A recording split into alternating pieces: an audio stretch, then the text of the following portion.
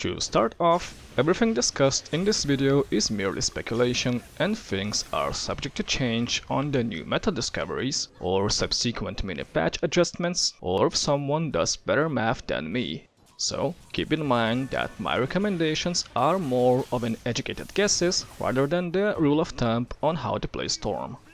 With that said, let's begin breaking down all of the changes most relevant to the hero. So, what's new in regards of how Storm can be built?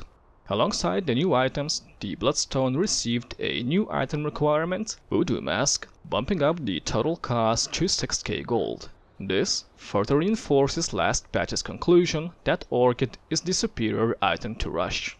Alternatively, I've also considered the combination of Threads and Witchblade as a possible substitute to Orchid, and while the cost, damage and DPS comes down very close to each other, Orchid takes the top spot simply due to the silence component. So, for the early and mid game, I would say that the item build remains unchanged. If you have a kill lane, no need to finish null right away, grab Gloves of Haste, turn it into Threads later, stack up some mangoes for extra kill potential, then finish Orchid by minute 12 to 15. If it's a farm lane, go ahead with Null and choose Sage's Masks, then rush Brown Boots Orchid for min 9 to 12. Now, for mid game, remember this general rule. Offensive item, defensive item, then whatever you need. Offensive item will pretty much always be the Orchid, and as for defensive, we have some consideration to do.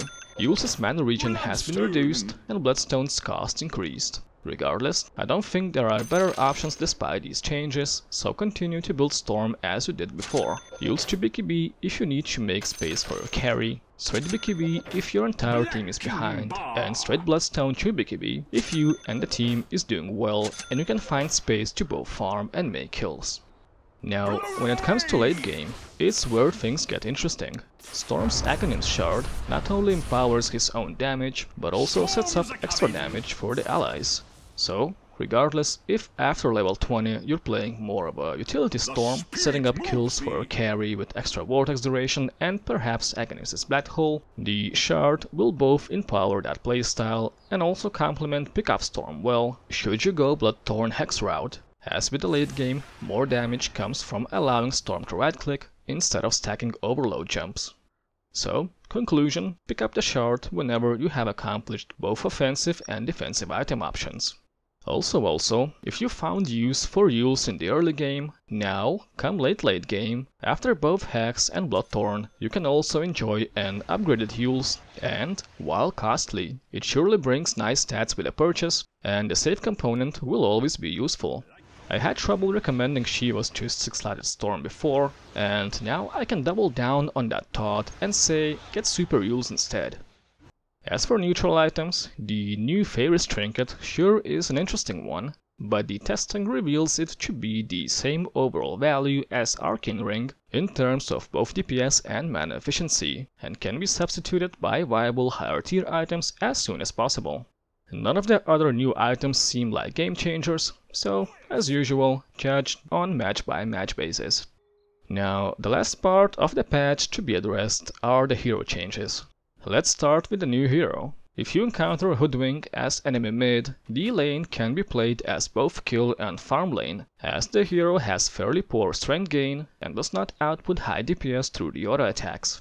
If encountered in any other role, a standard Orchid Storm will deal with Hoodwink just fine, even with a passive evasion. As for other heroes, the following names have received changes, mostly through Aghanim's Shard, that make them extra dangerous to Storm, and should be considered soft or hard counters when contemplating picking Storm in the first place. Naga can now target Storm through BKB. OD is more efficient at shutting down Storm's laning stage. Puck received general buffs in addition to being a natural counter.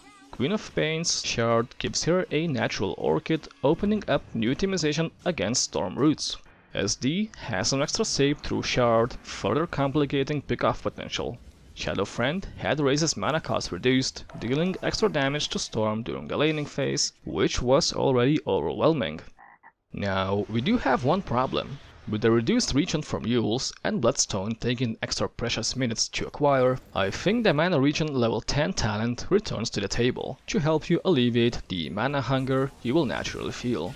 And come late game, with heals being a more natural pickup, the extra regen surely adds up, seeing as Bloodstone boosts every source you have. The only exception to the level 10 mana regen is if by then your team is ahead, or at least even, and you have uncontested rune control. In that case, Overload will be of more value, because you'll be able to get the extra regen from controlling the runes. Regardless of talent choice, you should still send yourself a Clarity with every purchase, and chug it whenever you find the chance. Regarding level 15 choice, if you feel Bloodstone should be delayed until later, take the Health talent to boost up the survivability in the meanwhile. Regarding the level 25 talent, I still believe the Auto Remnant is superior in any regular match scenario.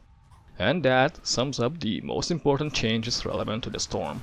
Overall, I don't think the win rate will fluctuate much, but Storm should certainly be more fun to play come late late game. And this concludes today's topic. Good luck!